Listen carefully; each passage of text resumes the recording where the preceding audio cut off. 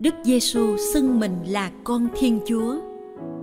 Do An chương 10 Người Do Thái lại lấy đá để ném Đức Giêsu. Người bảo họ: Tôi đã cho các ông thấy nhiều việc tốt đẹp Chúa Cha đã giao cho tôi làm. Vì việc nào mà các ông ném đá tôi? Người Do Thái đáp: Chúng tôi ném đá ông không phải vì một việc tốt đẹp, nhưng vì một lời nói phạm thượng. Ông là người phàm mà lại tự cho mình là Thiên Chúa. Đức Giêsu bảo họ: Trong lề luật của các ông đã chẳng có chép lời này sao? Ta đã phán các ngươi là những bậc thần thánh. Nếu lề luật gọi những kẻ được Thiên Chúa ngỏ lời là những bậc thần thánh mà lời kinh thánh không thể bị hủy bỏ thì tôi là người Chúa Cha đã thánh hiến và sai đến thế gian, làm sao các ông lại bảo tôi ông nói phạm thượng? Vì tôi đã nói tôi là con Thiên Chúa. Nếu tôi không làm các việc của cha tôi thì các ông đừng tin tôi.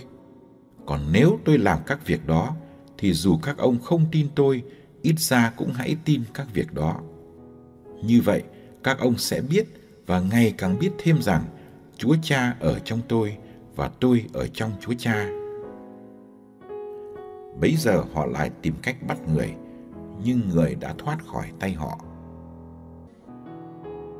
Đức Giêsu lại ra đi sang bên kia sông Giođan, đến chỗ trước kia ông Gioan đã làm phép rửa và người ở lại đó.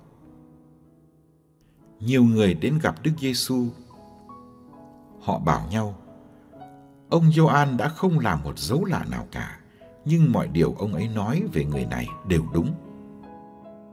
Ở đó, nhiều người đã tin vào Đức Giêsu.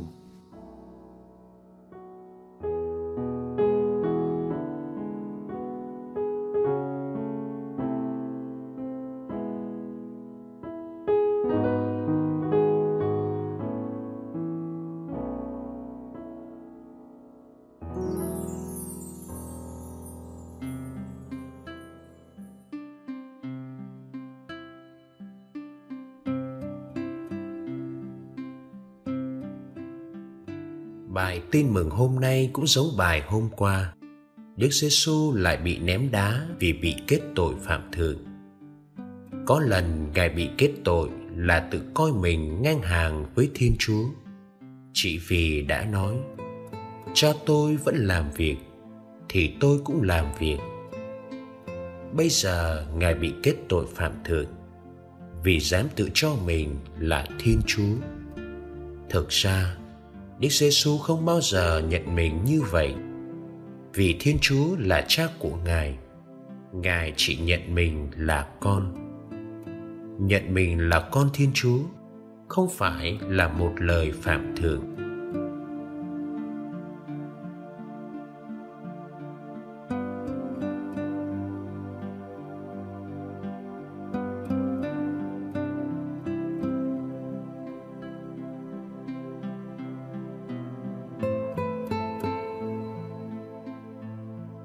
nhưng Đức Giêsu là con Thiên Chúa theo một nghĩa độc nhất vô nhị. Ngài là con một hằng ở nơi cung lòng Cha, đầy tràn ân sủng và sự thật. Người con một ấy đã trở thành người phàm mang tên Giêsu, trở thành quà tặng cứu độ của Thiên Chúa cho nhân loại. Đức Giêsu gắn bó với Chúa Cha đến nỗi Ngài có thể nói Chúa Cha ở trong tôi và tôi ở trong Chúa Cha. Hơn nữa, Ngài còn dám nói tôi và Chúa Cha là một. Cha và con hiệp nhất là một với nhau. Người được sai kết hiệp là một với đấng sai mình. Con không tự mình làm điều gì, không làm theo cách của mình. Con luôn sống như người được cha sai đây không phải chỉ là sự hiệp nhất trong công việc, mà còn là sự hiệp nhất sâu thẳm giữa hai ngôi vị thần linh.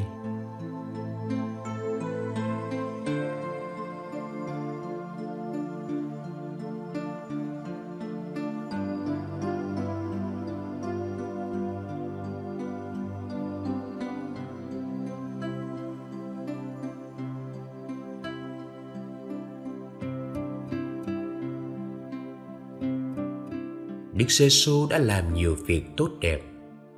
Các việc này không phải là việc của Ngài, mà là việc của Cha Ngài. Suốt đời Đức Giêsu chỉ tận tụy với việc của Cha. Trên thập giá, trước khi lìa đời, Ngài nói: Thế là đã hoàn tất.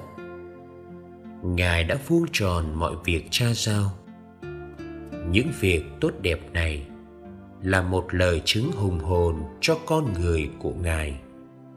Nếu tôi làm các việc đó, thì dù các ông không tin tôi, ít ra cũng hãy tin các việc đó. Tin vào việc làm dẫn đến tin vào con người.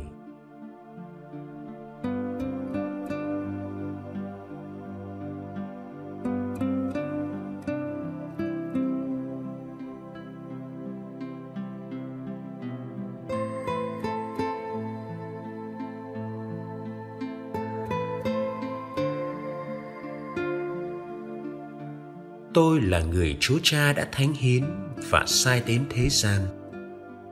Thiên Chúa Cha đã thánh hiến Chúa Con để Ngài thi hành sứ mạng. Chúng ta cũng là những người được thánh hiến qua bí tích thánh tẩy, được sai vào thế giới này để chia sẻ sứ mạng còn dang dở của Chúa Giêsu. Chúng ta còn nhiều điều tốt đẹp phải làm cho cuộc đời này trước khi có thể nói như chúa. Thế là đã hoàn tất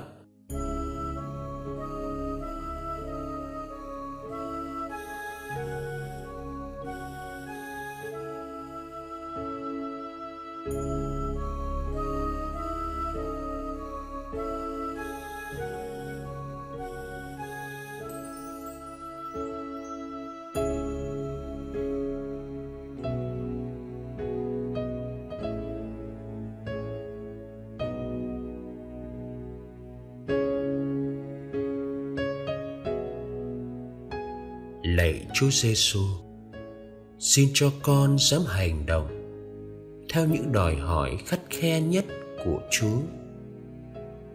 Xin dạy con biết theo Chúa vô điều kiện, vì xác tín rằng Chúa ngàn lần khôn ngoan hơn con, Chúa ngàn lần quảng đại hơn con, và Chúa yêu con hơn cả chính con yêu con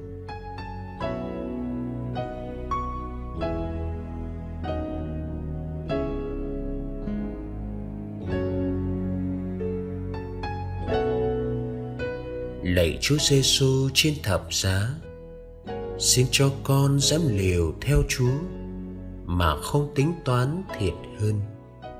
Anh hùng vượt trên mọi nỗi sợ, can đảm lướt thắng sự yếu đuối của quả tim và ném mình trọn vẹn cho sự quan phòng của Chúa.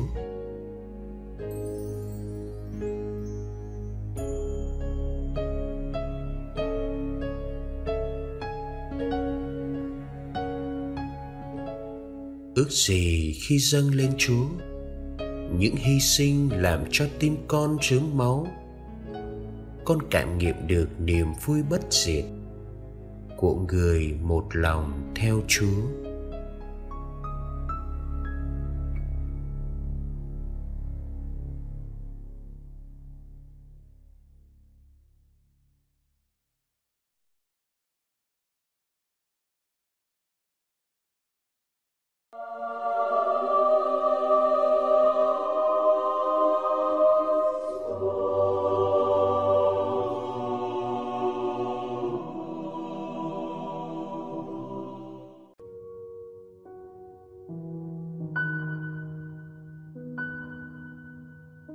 Ngày 22 tháng 3, Thánh Nicola Owen, năm 1606. Thánh Nicola, thường gọi là Tiểu Gioan, thân hình nhỏ nhắn nhưng lại vĩ đại về sự quý mến mà các linh mục dòng tên dành cho ngài. Sinh vào thế kỷ thứ 16 tại Oxford, nước Anh. Ngài hành nghề thợ mộc và đã cứu được mạng sống của nhiều linh mục cũng như giáo dân ở Anh Quốc trong thời kỳ cấm cách năm 1559 đến năm 1829. mà nhiều đạo luật đã được ban hành để trừng phạt người công giáo vì sống đức tin. Trong khoảng thời gian 20 năm, Thánh Nicola đã dùng tài năng của mình để thiết lập những nơi ẩn nấp kín đáo cho các linh mục trên toàn quốc. Công trình của Ngài được thiết kế và dàn dựng bởi chính tay Ngài quá tốt đến nỗi biết bao lần lục soát mà quan quân không thể nào tìm thấy các linh mục ẩn nấp trong đó.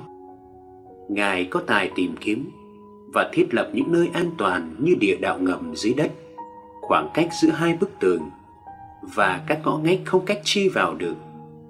Ngay cả có lần, Ngài sắp đặt kế hoạch để cứu thoát hai linh mục dòng tên khỏi nhà tù ở London. Bất cứ khi nào Thánh Nicola bắt đầu hoạt định những nơi ẩn nấp, Ngài thường khởi sự bằng việc rước mình Thánh Chúa. Và trong suốt tiến trình dàn dựng đầy nguy hiểm ấy, Ngài thường đến với Thiên Chúa qua sự cầu nguyện. Sau nhiều năm phục vụ với công việc khác thường ấy, Ngài đã gia nhập dòng tên với tư cách thầy trợ sĩ. Tuy nhiên, sự liên hệ này đã được giữ bí mật với những lý do chính đáng. Sau nhiều lần thoát chết trong đường tơ kẽ tóc, Ngài bị bắt năm 1594. Mặc dù bị tra tấn dã man, Ngài vẫn không tiết lộ danh tính của các người công giáo. Sau khi được thả tự do với một số tiền hối lộ, Tiểu Gioan lại trở về với công việc cũ. Ngài bị bắt lại vào năm 1606.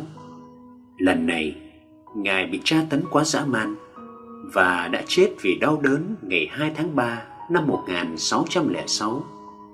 Quân cai ngục cố tuyên rằng, Ngài đã thú nhận tội lỗi và tự tử. Nhưng hành động anh hùng và sự thống khổ của Ngài sau đó đã được lan truyền khắp nước. Ngài được Đức Giáo Hoàng Pio thứ 11 tôn phong chân phước ngày 15 tháng 12 năm 1929 và Đức Giáo Hoàng Phaolô thứ sáu nâng Ngài lên hàng các thánh tử đạo ngày 25 tháng 10 năm 1970 như một trong 40 vị tử đạo của Anh Quốc và Wales.